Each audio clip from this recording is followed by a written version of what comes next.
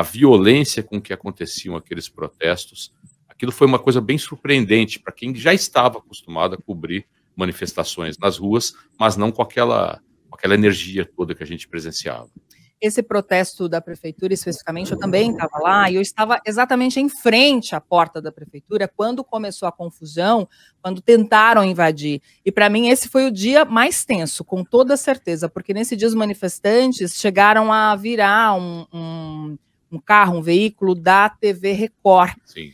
E quando começou a confusão na frente da prefeitura, eu tentei sair e fiquei atrás do carro. E eles começaram a balançar o carro. E eu tive que sair de lá também e foi aquela correria, eu entrei no ar correndo. Foi o dia mais tenso de todos ali, né? Porque a polícia militar de repente sumiu, não tinha polícia militar, era só os manifestantes ali, começaram a quebrar a prefeitura.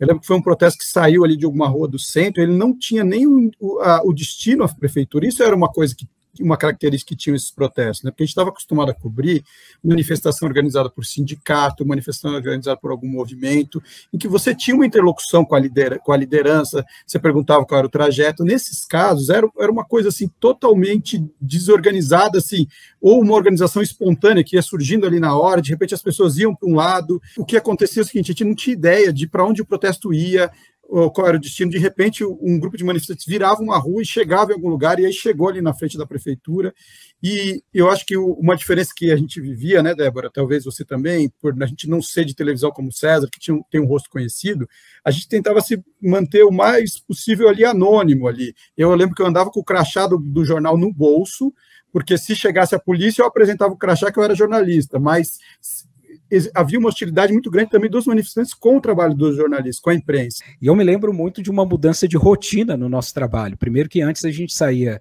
da redação com um papel, com uma caneta e o gravador no máximo. Depois a gente passou a ter que usar capacete, máscara e em alguns momentos até colete, né, é, para poder cobrir esses protestos.